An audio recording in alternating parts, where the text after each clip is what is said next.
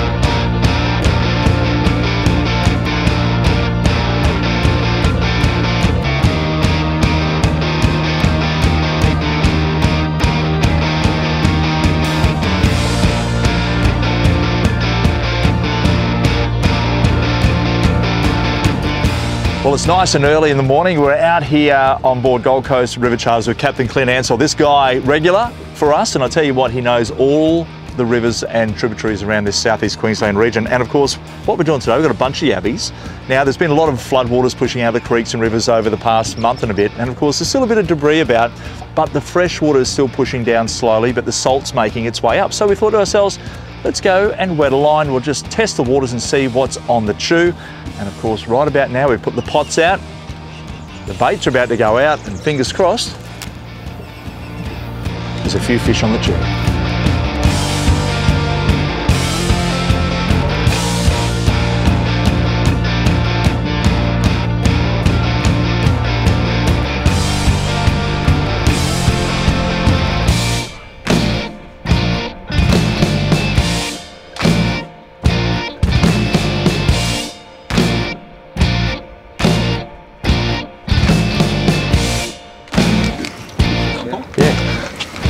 It's a double hookup, Dave. Yeah, Hey? double hookup day. It's like uh, Gold Coast River Charters times two. A bit lighter than the last one. Bit bigger bream. Yeah, that's a bit better. Yeah. Yeah. That's the thing, you do get a lot of bream around these systems as we move into, uh, well, after a freshwater. Clint, your line is always over mine, mate. Or, was I, or am I throwing over you? That's a good thing about when you are fishing after a, a lot of water's moved out of whether it's flood waters or anything like that. You're not going to fish when it's really strong currents, of course, but you know, give it a couple of weeks and things start to settle down like now. Still a lot of debris pushing through the creeks here and the rivers, as you can see, mainly due to the larger tides we've got coming through at the moment as well. So a lot of the sticks and logs over the past couple of weeks have washed up onto the banks. When you get those bigger tides, it moves them back out into the river system. So it's still not advisable for skiing or anything like that until the water is cleared. And if you are moving up here at night time, the last thing you'd want to do is collect one of these larger logs. It wouldn't be a good outcome on the leg of your engine. But the bream, they love this kind of water. Stinky baits, or in this case, we're using nippers or yabbies. Yabbies are a, a fantastic bait to use. Look at those. Absolutely stunning bait. So, we'll get this hook out of him and get another line into the water. Here you go, champ. I gave him my bait back. Well, the beauty is there, Clint, I'm over your rod and I'm, I'm 22 feet away from you. I can just put my rod over yours and we're not tangled. Look at that. Oh, I love it. I love the bend. Can't Yeah. wait to see a bigger fish. Mate, no, this rod, if the fish is three inches long, the rod fights it like it's eight foot long. It's great.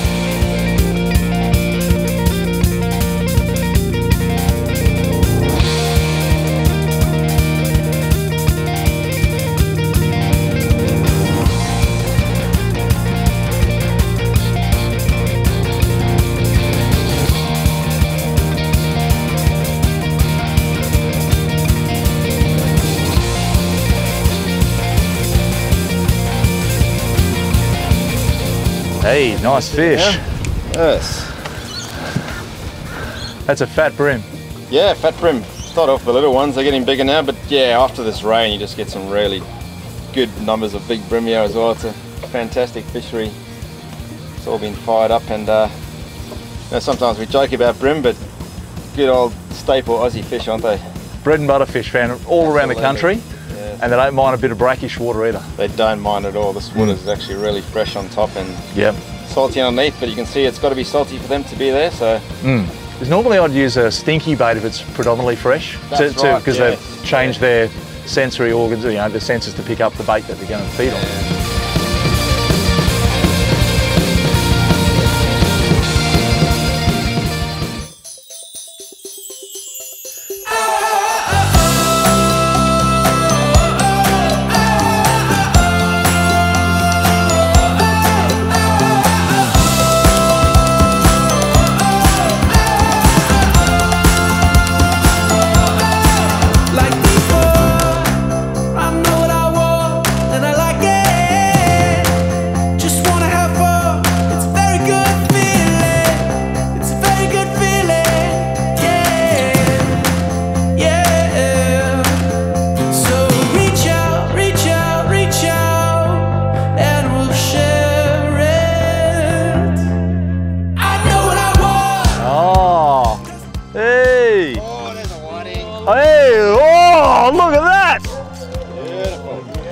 Yep, that's uh, that's mine.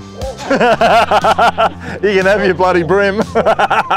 look at that for a cracker. This is what it's about, you know. I tell you what, look at that. Knowing that the fish are out after a good fresh is awesome. I'm happy. The dog's happy. Clint's happy. He caught a bream. I'm. Sorry, mate. I'm just, I'm just, I'm just pointing out the obvious. Okay. I'm going to show you guys something. It's called split the lip. Now, this is a big fish. We're going to keep this one, of course. So what I got to do is when it swallows the hook and you can't get it out, is you come in under here, and it's called split the lip. So you put your finger up there, split the lip. Your line will then travel down that section here, and you'll be able to get the hook out like that. Push the hook down and out it comes. Yes, you can put the fish away and let him go if you wanted to. That'll heal up if it's a smaller one. Uh, but for the larger fish there, obviously we're going to put him on some ice and uh, that is coming home for a beautiful dinner for me. Whiting. Stoked. Just happy I didn't get a rim. Sorry, mate. I'm just, I'm just saying. I'm just- so I'm running a couple of rigs here. I've got uh, the Alvey. I love using an Alvey when targeting whiting or bream in the estuaries. Uh, the boys have been giving me lots of stick and curry about this. They think it's a surf rod. Uh, look, it, it is around 18 feet long, but it's okay. It's, it's not 18 feet, fellas. It's around 10 foot.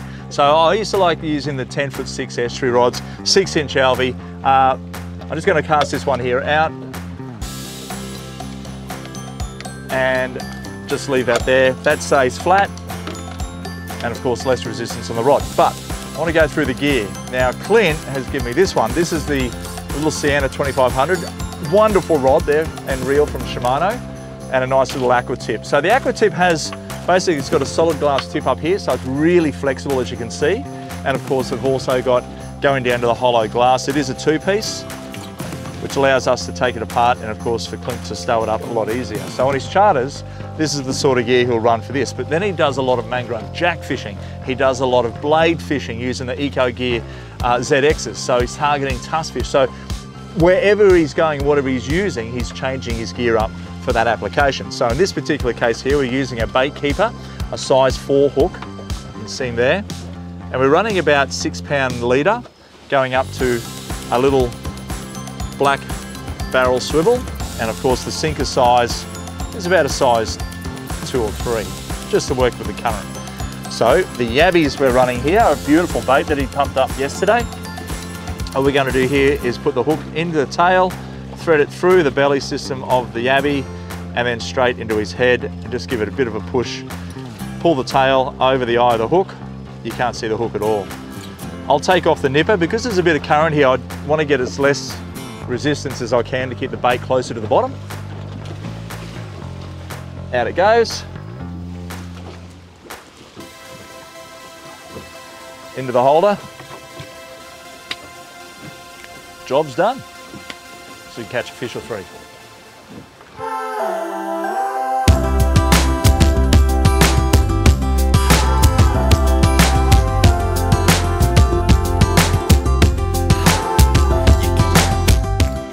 Mate, I've noticed that when we're fishing here, Clint, the first thing you want to do is put out two anchors. Yes. Why, why is that, mate? Well, yeah, it's just in this sort of wind and tide, you're not swinging around. So your, your bait's on swinging over the bottom, your line's on crossing, you're just sitting nice and still. And uh, you can keep feeling the lines out without tangling. But yeah, it's just a very good way to fish. You're not swinging around. Your boat will swing around, which gets really annoying too. You don't see the bites when it goes slack. It drags the sinker over the bottom, which then can put the wary whiting off. So double anchoring is very effective. Do you find, I notice that we're sort of on the shallow side of the river, the other side's quite uh, deep, Yeah. a lot of current out there as well. Very strong So, current. so is it better to, to fish on these corners where there's not much current for the fish to have less resistance and they can school up a lot freely? That's exactly right. I mean, fish like us, they're lazy. They don't want to work too hard to stay in their position and feed. So Yep. they can get out of the strong flow a bit, which today we've got a bigger tide leading up to the full moon and approaching the middle of the run out of the tide now. So it runs very hard out wider. So that's where you want to be when it is running as at its hardest is on the inside. Mate, we got some yabbies here, uh, but you also like using worms. Yeah, yeah, if I can, if I can get them, yes. And they're, they're harder to get though, aren't they? Uh, just at the moment, yeah, we'll we'll be able to get them later this week. They usually sort of come out if you're buying them just in time for the weekend. Yeah. And also because of the floods, it's probably been hard to sort of get to them as well, guys that catch them. But if you can't get bloodworms, which is the top peak, then um, live yabbies are, are the next best, I'd say. But local bait, like you know, That's it, river local. prawns might work, but realistically, you know, your squid, your pilchards, all that stuff, forget that. Forget that, yeah. You know. The fresher the better. The whiting are pretty picky. Mm. And even your bigger bream and grunter and things, they'll prefer fresh live bait over frozen frozen baits out of the freezer, yeah, definitely. There you go, and that can also involve a lot of hard yakka Oh yeah.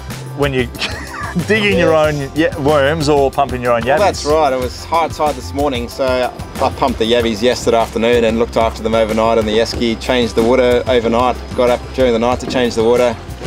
Kept an, a, a cold container in there to keep them cool, and they're still fresh as now. So it's looking after the bait. And they're pulling the fish. Yeah, that's right. Yeah, we're getting bites. Um, it's sort of coming through in waves, which is typical of, of how you sort of just sit and wait. You don't have to move. You can move if you want to. There's two ways of doing it. You can either sit in one spot and wait for the bites, or you can move. But knowing where we are now on the edge of the uh, current here, it's it's where fish are going to hang for now. And say it drops off later and it's quite not much flow here, you have to go out a bit wider and, and find more flow. So it's just finding where the fish are at any stage of the tide. That's it. No, other way, other way. Oh, good. This is- this is- yeah, that's it. Play the Benny Hill music. you got the crow pot. That's a good time. Big whiting. oh, stingray. now don't get that confused there, Dave, with my whiting and your stingray in the in the esky, mate. Let them fight it for half an hour. Oh, quality, kids. We've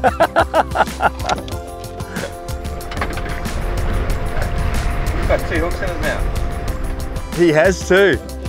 Wow. You can have the stingray. Yeah, no, mate. Oh, Dave, I'm just thinking of you, buddy. That's all.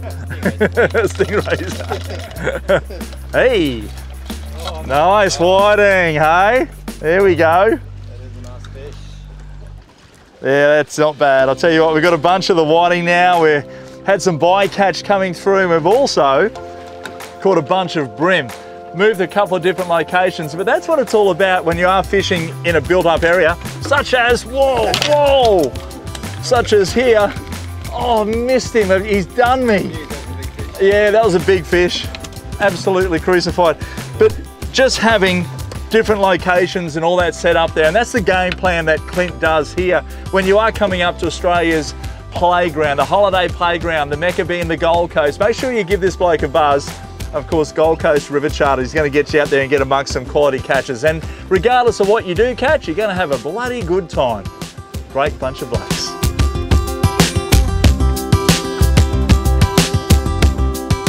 Now here's some tips for catching whiting.